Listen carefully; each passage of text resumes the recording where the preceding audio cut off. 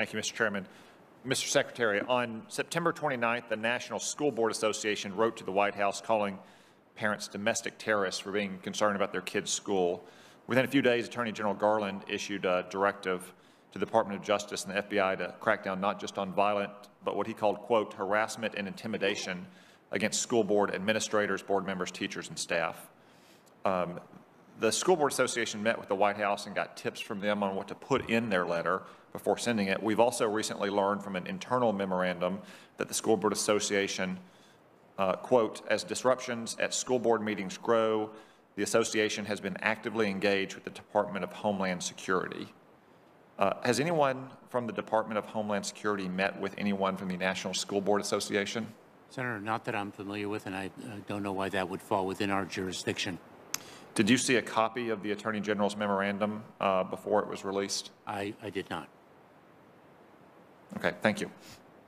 Um, a few weeks ago, it was reported that the Department of Justice was in talks to give payments of up to $450,000 per person to illegal immigrants who were subject uh, to enforcement of the zero tolerance policy during the last administration. Um, have you or anyone at the Department of Homeland Security been involved in those talks? I have not, and I am not aware of um, anyone in the department who's been involved in the talks. That is something within the province of the Department of Justice. So, so let me ask you this, and, and let me be explicit. I'm not talking about the lawsuits that are filed or the Department of Justice's litigation strategy or potential settlements. Um, who do you think is more deserving of cash payments from the United States government? Illegal migrants who cross our borders or the family of U.S. soldiers who are killed in action? Senator, I think, um, if, if I may, you know the, uh, how I'll answer that question. Um, I think that uh, the families uh, of those who lost their lives wearing our nation's uniform um, are um, our greatest responsibility as a nation. So do you, I, I can't. do you think that, do you think it's, it's Senator- shocking that illegal migrants could get up to four and a half times what the family Senator, of a Let- let- service member killed in action? Senator, if I, if I may, um, uh, I'm a lawyer by uh, profession, so I don't and uh, don't think it advisable uh, to render opinions on facts, uh, uh, on cases, the facts and circumstances of which I am not familiar, because I know that the uh, the cases that are before uh, the Department of Justice, to which you are referring, are Federal Tort Claims Act, where not um, all of those unlawfully present are filing suit against the government, but those parents um, whose children uh, were taken from them as a means of deterring irregular migration, uh, part of the zero tolerance policy of the prior administration, the family separation uh, policy uh, that received bipartisan condemnation and, quite frankly, the condemnation of the American public.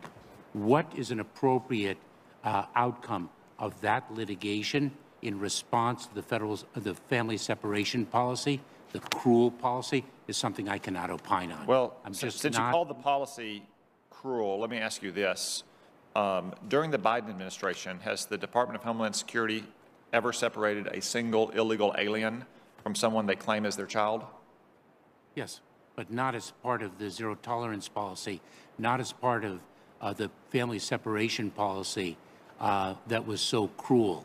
Let me explain. So, uh, me- well, okay, so I. I understand that I'm- you're I saying it's not part of the I'm- policy. I'm sorry. No. If I may, Ma- Senator, I No, must actually, no, you may not. It's my time. I'm sorry, my time is limited. So you've said that the, that the Department of Homeland Security has done this during the Biden administration. You were the deputy secretary during the Obama administration.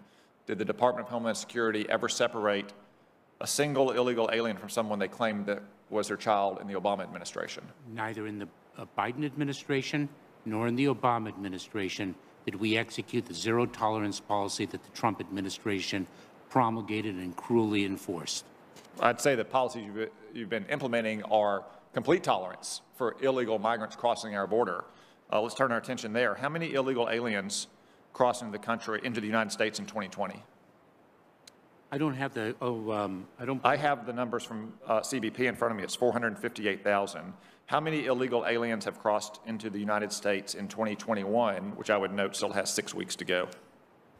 I believe the number, um, um, taking out of that approximately 1.7 million, the number of recidivists So in other words, uh, unique individuals, approximately 1.3, 1.4 million. uh, Would be my estimate. So I have 1.7, but that's fine. So it's somewhere between um, two and a half to four times as much. No, because uh, the 1.7 million figure to which you refer, Senator, includes recidivists. Okay, so let's say it's 1.3, it's still two and a half times.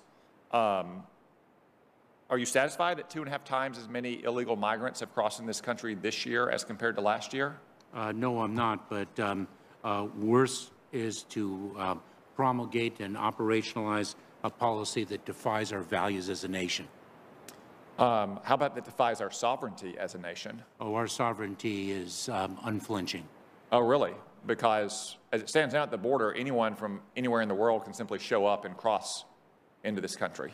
I don't think that the, um, uh, the hundreds of thousands of individuals who've been expelled under Title 42, the CDC's authority, would act. Well, the 1.7 million have crossed here probably think so. Let me, let me conclude with this. What should be a higher priority of the United States government? Securing our border or giving amnesty to illegal aliens who are already here? Uh, Senator, Ju- justice i- is our priority. That includes securing our border and providing relief to those who qualify for it under our laws. So, so you refuse to prioritize whether we should try to protect our border from people crossing it who have zero right to be here, or giving amnesty to the millions of people that are in this country illegally? Uh, Senator, I, I disagree wholeheartedly with the phrasing of your question. Uh, it is um, an inaccurate phrasing of our missions, our responsibilities, our challenges, and our actions. How, how is it inaccurate? I mean, we, the fact we have had 1.3 million by your own admission cross just this year. There are millions more in this country who are here illegally. I'm simply asking you, what is more important? What's a higher priority of the United States government, to protect our border or to give amnesty to those who are here illegally?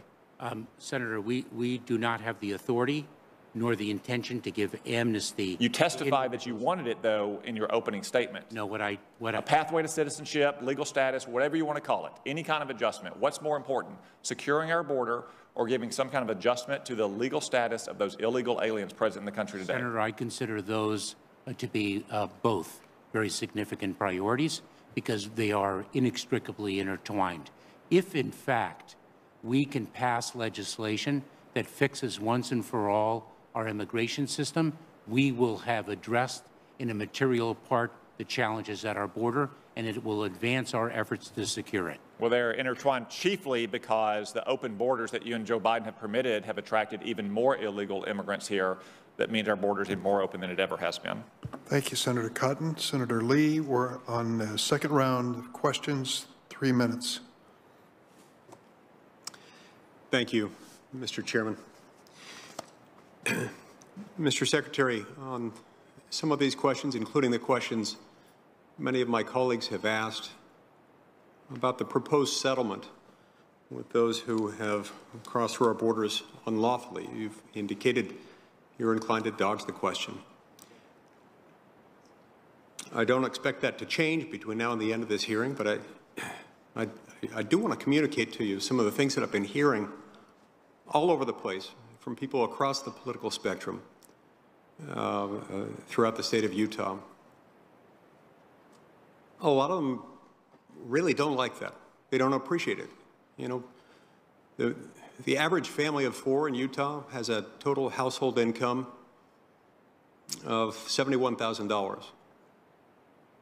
If you got a family of four that crossed through our borders unlawfully and was subject to this settlement agreement, you'd be looking at $1.8 million in a settlement.